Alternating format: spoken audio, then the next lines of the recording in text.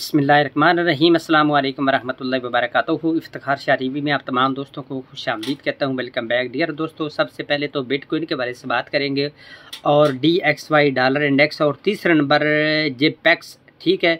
JPC जो इनका narrative token भी है और जे पैक्स एक्सचेंज है, इसका समझो कि चंद महीने पहले मैंने रिव्यू दिया था।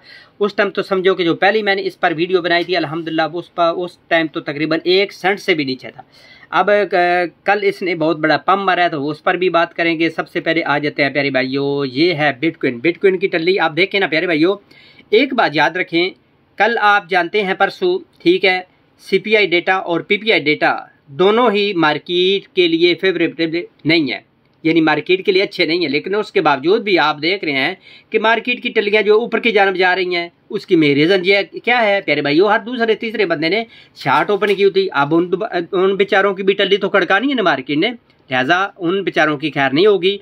अब कहाँ तक मज़ीद जा सकती है, जो मेरा एनालिसिस कहता है, जो मेरे जहन में चल रहा है, या अकॉर्डिंग टू दिस चार्ट ठीक है, ये सारी चीज़ें मिक्स करके तो मैं अपना एनालिसिस भी पेश करूँगा।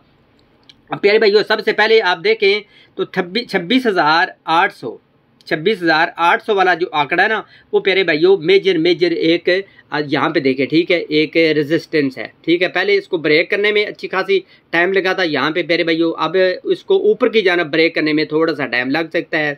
हाँ छब्बीस हज़ार आठ सौ से ऊपर क्लोजिंग हो जाती है फोर हावर वाली तो फिर पक्का पक्का पक्का जेन में ये रखे, साढ़े सत्ताईस हज़ार वाला आंकड़ा सत्ताईस हज़ार से लेकर सत्ताईस हज़ार से लेकर साढ़े सत्ताईस हज़ार पे पक्का कन्फर्म ये समझे। लेकिन सबसे पहले यहाँ पे, हो सकता है दोबारा से, अब यहाँ तक इसने टल्ली तो खड़का दी है, किन की, जिन्होंने शार्ट किया हुआ था।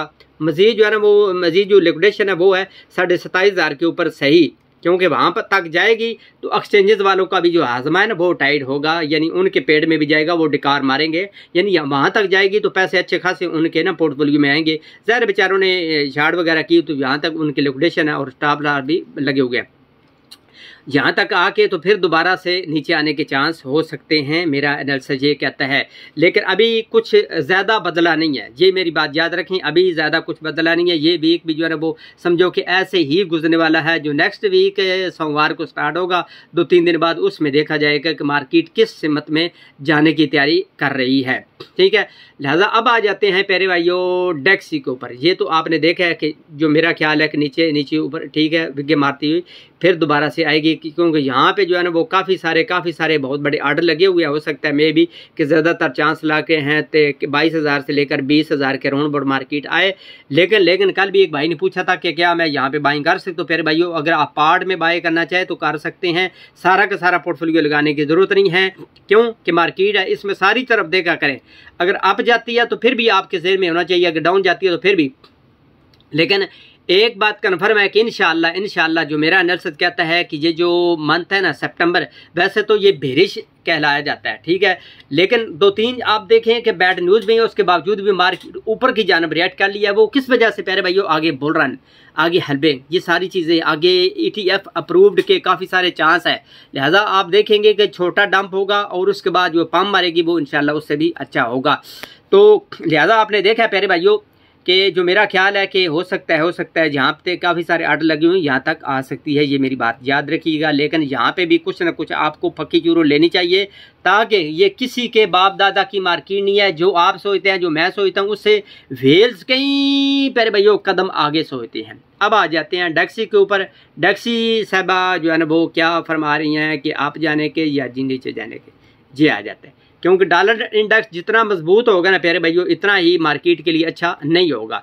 अब यहाँ पे देखें प्यारे भाइयों तो जो मेरा ख्याल है कि इसको यहाँ पे ना एज ए इस रेजिस्टेंस करके तो नीचे आने का चांस लग रहे हैं, ठीक है, यहाँ पे।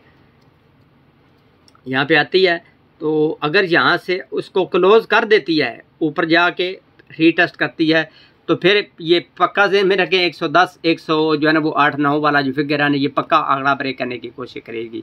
क्यों? कि अगर यहाँ से ये ऊपर जाता है तो बिटकॉइन इसके उलट काम करती है। आपको पता है, मैंने सारी चीज़ें आपको वन बाई वन सिखाई हुई हैं तो बिटकॉइन नीचे गिरेगा। दुआ करे, अल्लाह करे तो ये यहाँ से इसको हदायत आ जाए तो यहाँ से ही ये बेचारा नीचे आए, ठीक है। उसके बाद यहाँ, फिर नीचे यहाँ और यहाँ पे आ सकता है, ठीक है। यहाँ तक। यहाँ तक आ जाए तो बिटकॉइन में मैं समझता हूँ कि दमादम मस्त कलंदर इन होगा। ये सारी चीज़ें आप जहन में रखें कि अब आपको किस सिमत में जाना है, किस डायरेक्शन में जाना है, वो आप अपना डिसीज़न ले। जो मेरा ख्याल है कि अभी के लिए थोड़ा सा आपको ना सब्र करना चाहिए। छब्बीस हज़ार आठ सौ से ऊपर फोर हावर वाली कैंडल क्लोजिंग हो जाए तो फिर आप लॉन्ग की मज़ीद इंट्री ले सकते हैं, जो कि साढ़े सत्ताईस हज़ार के राउंड अबाउट और अट्ठाईस हज़ार के राउंड अबाउट आ सकती है। अब आ जाते हैं जीपेक्स जो जेपीसी जो टोकन है। प्यारे भाइयों, जो पहली वीडियो अल्हम्दुलिल्लाह मैंने बनाई थी, वो एक सेंट के ऊपर थी। अब इसका जो ग्राफ हो, आपको पता है इंडिग्रेड जो है, वो कुछ दिन पहले हुआ है दो चार दिन पहले हुआ है।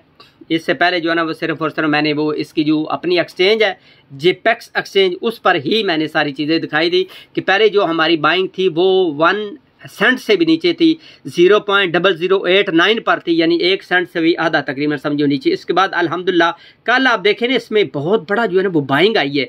बहुत बड़ा इसने जम मारा है। कहाँ से लगा? यहाँ पे आप देखें ना, प्यारे भाई वो डेढ़ सेंट है। और ये तकरीबन छः सेंट के ऊपर गया। यानी चार पाँच गुना जो है ना, वो एक दिन के अंदर अंदर, ठीक है, इसने पम मारा। उसकी मेन रीज़न क्या है? अब आ जाते हैं, यहाँ पे आ जाते हैं, मेरे भाइयों, थोड़ा सा इसके ऊपर आ जाते हैं। अब देखिए, पहले तो सिर्फ़ और सिर्फ़ ये चिपेक्स एक्सचेंज पर थी, अब ये किन किन की टल्ली खड़का चुकी है। अब अलहमदिल्ला देखें एम ई एक्स एक्सचेंज पर M E X C exchange पर भी है, ठीक है। इसके बाद एल बैंक पे है, ठीक है? और ये तीन चार कोइन डब्ल्यू वगैरह, ये तीन चार एक्सचेंजेस पर अब आहिस्ता आहिस्ता लिस्ट हो रहा है। मे बी के ज़्यादातर चांस है, ये कू कोइन पे भी आने वाले टाइम में आ सकता है। इसके बाद ओकेक्स एक्सचेंज पर। इसके बाद इन जो है ना, वो मैं समझता हूँ कि ये आने वाले टाइम में बाइनास पर तो थोड़ा सा लंबा काम है, लेकिन ये जापानी एक्सचेंज है, ठीक है? जापानी आपको पता है, जितनी भी चीज़ें वो कितनी पायदार होती हैं, मैं इससे पहले कई दफ़ा बता चुका हूँ। अब इन्होंने, प्यारे भाइयों, को कुछ दिन पहले आपको पता है कि इन्होंने जो है ना, वो अपने लॉन्च पैड पे ये पैक्स एक्सचेंज बाय करके लोकेट करना था और उन्होंने देना था जेपीजी जेपीपी ठीक है जेपीपी तो काफ़ी भाइयों ने इतराज़ किया कि वो हमारे जो है ना जे पैक्स जो कोइन है वो तो उन्होंने रख लिया है, उसके बदले में उन्होंने दे दिया। हर प्यारे भाइयों एक्सचेंज की अपनी स्ट्रेटजी होती है। इसमें कोई परेशान होने वाली बात नहीं है। जब तक ये साइट ज़िंदा है, उस वक्त तक आपको भी बिल्कुल इसके साथ जो है वो दमाद मस्त अंदर करने की ज़रूरत है। हाँ ये बेचारी फौत होगी या वेबसाइट बंद होगी एक्सचेंज बंद होगी कोइन भाग गया तो फिर आप बोल सकते हैं, ये मार्केट है, नीचे ऊपर होती रहती है। लेकिन मैं समझता हूँ, जिस तरह ये अच्छी डेवलपमेंट कर रहे हैं गेमिंग वाला बनने का प्रोजेक्ट है। अब आप देखते हैं ना, ये एक्सचेंज, इन एक्सचेंजेस पर भी आ चुका है तो क्या समझता है कि आने वाले टाइम में ये आगे बढ़ेंगे, पीछे नहीं हटेंगे? तो भुल रन में भाई जेपीबी जो कोइन है वो लॉन्च होगा। भुल रन में किस वक्त तकरीबन समझो कि आज से 200 दिन बाद 200 दिन तकरीबन आप समझते हैं कि साढ़े छः महीने बनते हैं तो वो मार्च, अप्रैल में तकरीबन बनता है 2024 के। उस वक्त भुलरन का भी प्रेशर ई e का भी प्रेशर उस वक्त जो बहुत अच्छा टाइम है इनका जेपीबी जो कोइन उन्होंने लॉन्च करना है।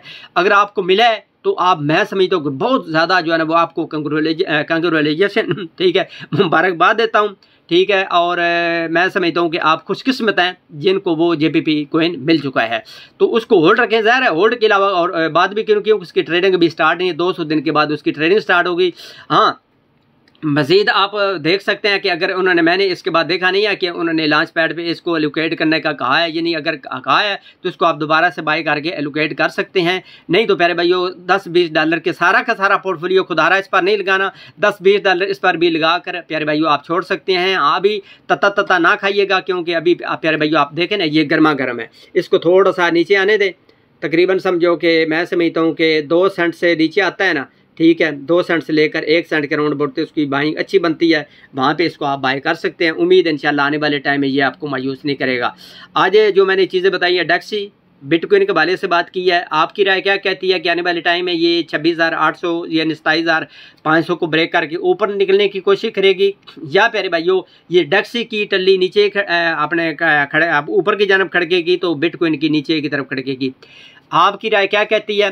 और जेपेक्स जो कोइन है एक्सचेंज है, इसके बारे में आपकी राय क्या कहती है? क्या इसको आपने बाय किया हुआ या नहीं किया हुआ?